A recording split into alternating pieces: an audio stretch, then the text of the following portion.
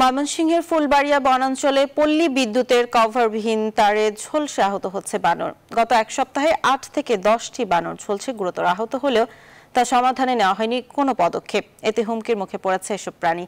বনের দায়িত্বে থাকা কর্মকর্তা বলছেন, বিদ্যুৎ বিভাগের খামখেয়ালি খামখেয়ালিপনার কারণেই ঘটছে এই দুর্ঘটনা। যদিও বিদ্যুৎ বিভাগের দাবি নিয়ম মেনেই সংযোগ দেওয়া হয়েছে বনের ভেতর। সৈয়দ হনুমানের তথ্য ছবিতে ডেস্ক রিপোর্ট।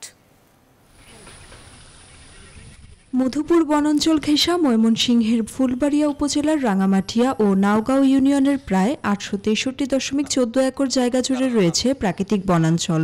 প্রাকৃতিক নানা কারণসহ গাছ কেটে বন উজাড় করায় দিন দিন বন্যপ্রাণী হারিয়ে যেতে বসেছে। তবে এ বনে প্রায় সাড়ে তিনশো বানরের এখনও অবাধ বিচরণ রয়েছে।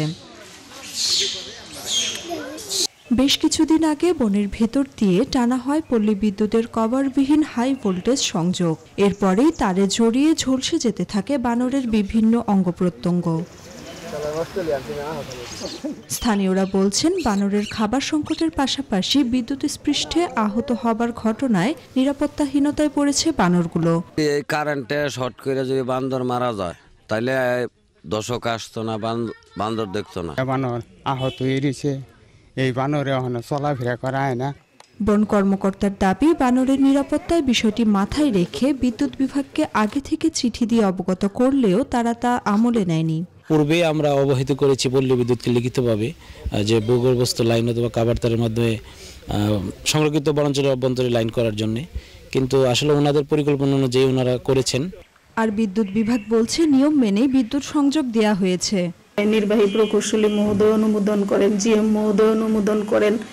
তারপরে এটা কিন্তু লাইন নির্মাণ হয়। অনুমোদনের পরে ড্রয়িং ডিজাইন অনুযায়ী লাইন নির্মাণ করা আছে। বর্তমানে কোনো সমস্যা নাই ওখানে। সন্তোষপুর বনাঞ্চলের বানর সহ অন্যান্য বন্যপ্রাণী রক্ষায় দ্রুত প্রয়োজনীয় উদ্যোগ নেবে পল্লী বিদ্যুৎ ও বন বিভাগ, এমনটাই প্রত্যাশায় স্থানীয়দের।